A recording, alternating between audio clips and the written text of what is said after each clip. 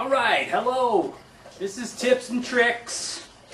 And here's one of the tips and tricks that I learned that I'm going to pass on to you, the YouTube people. This here in my hand is a tuna container. Has a hole in the bottom, as you can see. There's a drill. You want to drill something? A hole, perhaps, overhead, and it looks like there's going to be dust coming into your face. So you take your can, put it up against the surface, put your drill bit through the can, continue to drill your hole.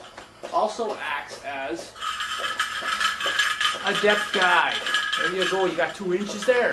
You can also use a margarine container, whatever you want. If you want a sample, let's say I'm drilling a hole in a piece of wood overhead and I don't want to get dust on the ground or in my face. So here we go. Drilling the hole. All the dust is falling inside. Let me tighten that biatch up. Here we go.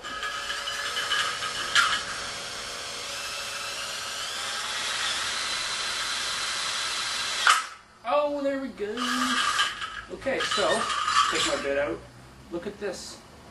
All the dust is inside. See that? Right there. Dirt, dust in the can. Not on the floor, not in your face, not in your eyes, in your nose, and in your mouth. Simple trick.